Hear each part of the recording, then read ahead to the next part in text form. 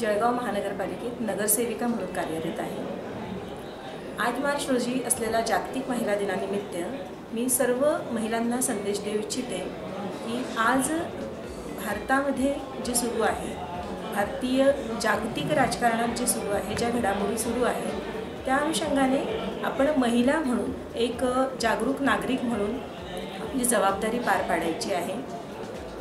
महिला या स प्रत्येकच क्षेत्रामध्ये अतिशय चांगल्या पद्धतीने काम करत आहेतच.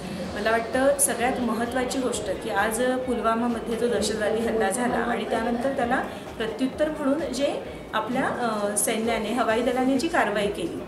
आणि हे सगळं होत असताना आपल्या देशाची संरक्षण मंत्री ही एक महिला आहे. परराष्ट्र व्यवहार मंत्री सुद्धा महिला आहे.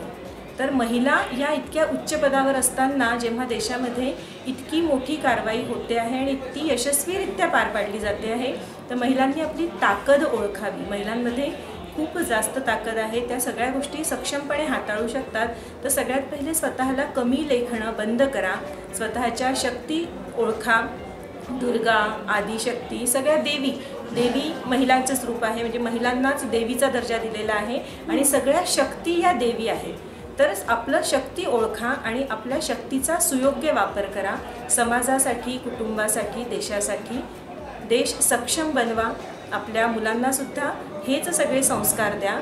देशासाठी एक सुजाण नागरिक घडवा हा संदेश दे